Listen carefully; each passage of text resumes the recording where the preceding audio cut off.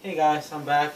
Uh, sorry for the short videos. My intention was to make one video, but I ended up doing three short ones. Uh, I wasn't planning to do the installation of the hard drive, and I wasn't planning to converting this laptop hard drive that came out of here. And since I have the case that it came out of, I might as well put it in and show you guys. I bought this, I believe it was on, on eBay or Amazon, I'm not sure. It's like $5 is a just a case. It comes with uh, comes with a screwdriver. I don't have it. Throw it away.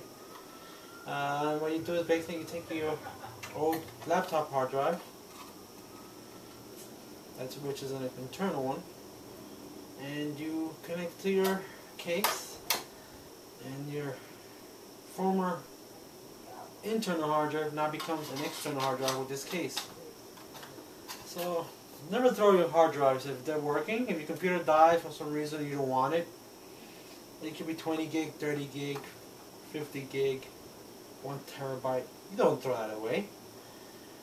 It's it's not 100% operational because it's old already.